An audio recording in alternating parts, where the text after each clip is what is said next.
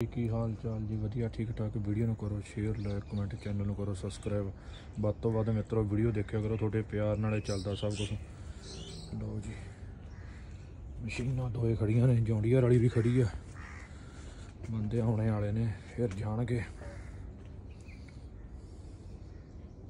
ਜੀ, ਦੇਖੋ ਜੀ, ਜਿਹੜੀ ਰਾਤ ਨੂੰ ਉਦਣ ਲਾਡੀ ਨੇ 6 ਕਿੱਲੇ ਬੀਜੇ ਦੀ ਨਿਕਲਿਆ ਜੀ ਮੱਕੀ।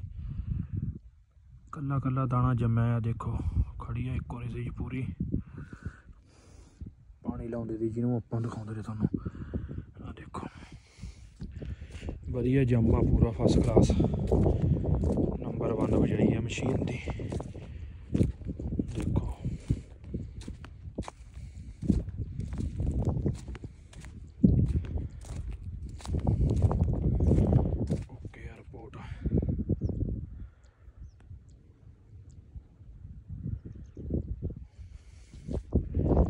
ਇਹਦੇ ਤੇ ਕਰਕੇ ਕੱਲ ਆਪਾਂ ਸਪਰੇਅ ਕੱਖਾਂ ਵਾਲੀ।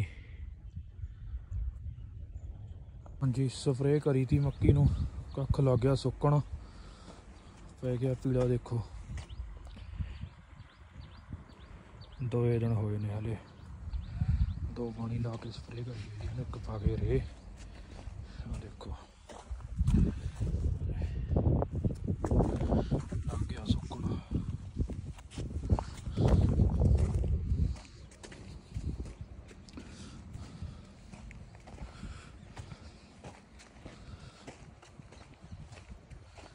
ਆਲੂ ਖੜੇ ਨੇ ਚਾਰ ਖੇਤ ਆਹ ਡਾਇਮੰਡ ਦੇ। ਪਹਿਲਾਂ ਵੱਡੀਆਂ ਹੋ ਗਏ 7-8 ਦਿਨ। ਤੇ ਇੱਕ ਦਿਹਾੜੀ, ਦੋ ਦਿਨ ਛੁੱਟੀ ਕਰਤੀ ਆਪਾਂ। ਤੇ ਇੱਕ ਦਿਹਾੜੀ ਹੁਣ ਉਹ ਹਰਪ੍ਰੀਤ ਦੇ ਪੜਦੇ ਨੇ। ਕੱਲ ਦੀ ਦਿਹਾੜੀ ਲਾ ਕੇ ਅਗਲੇ ਦਿਨ ਆਉਣਗੇ ਆਪਣੇ। ਫਿਰ ਚਲਾਵਾਂਗੇ, ਦੇਖੋ ਖੰਡੀ ਕਿੰਨੀ ਹੋਈ ਆ। ਖੰਡੀ ਬਹੁਤ ਹੋ ਗਈ, ਕੱਖੇ ਬਹੁਤ ਹੋ ਗਿਆ, ਦੇਖੋ ਅਰੇ ਭਾਈ ਉਹ ਖੜੀ ਵਾਲਾ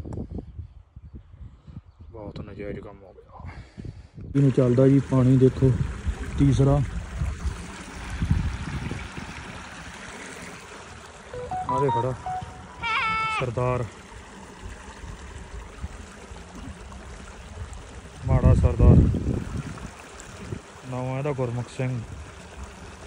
ਇੱਕ ਵੀਰ ਕਹਿੰਦਾ ਐਡੇ ਟਾਇਰਾਂ ਵਾਲੇ ਟਰੈਕਟਰ ਰੱਖੇ ਨੇ। ਐਵਰੇਜ ਕਿੰਨੀ ਕੁ ਦਿੰਦੇ ਹੋਣੇ? ਮੈਂ ਕਿਹਾ ਮਿੱਤਰਾ ਐਵਰੇਜ ਲਈ ਰੱਖੇ, ਖੇਤੀ ਲਈ ਰੱਖੇ ਨੇ। ਐਵਰੇਜ ਕਦੇ ਗੱਡੀ ਨਹੀਂ ਇਹ ਖੇਤੀ ਲਈ ਰੱਖੇ ਨੇ। ਆ ਖੇਤੀ ਕੀਤੀ ਜਾਂਦੀ ਹੈ ਮਿੱਤਰਾ। ਐਵਰੇਜ ਨਹੀਂ ਕੱਢੀ ਜਾਂਦੀ।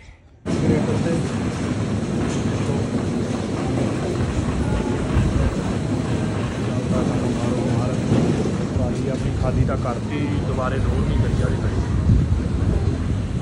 ਪ੍ਰੀਤ ਖੜਾ। ਬੱਚੇ ਲੈ ਜਾਣੇ। ਗਗਨਦੀਪ ਤੇ ਮਦਨਜੀਤ ਵੀ ਦੋਏ। ਇਹਦੇ ਇੱਕ ਸਪਰੇਅ ਕਰਨ ਦਵਾਈਆਂ ਘੋਲਦੇ ਹਾਂ ਰੱਖਾਂ ਦੀ ਗੱਲ ਨਹੀਂ ਮੱਕੀ ਦੇ ਵਿੱਚ ਕਿੰਨਾ ਕਰਤਾ ਮਹਿੰਗਾ ਬਰੀਕ ਬਰੀਕ ਆ ਉਹ ਬਾਕੀ ਜਾਦੇ ਆ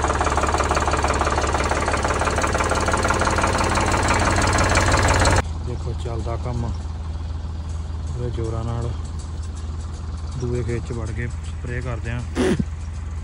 ਮੱਕੀ ਤੇ ਅੱਖਾਂ ਦੀ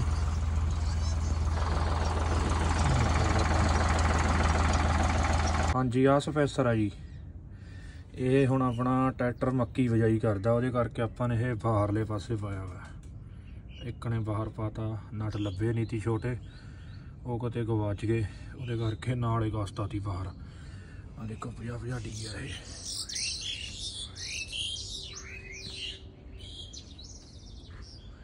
ਬਸ ਬਸ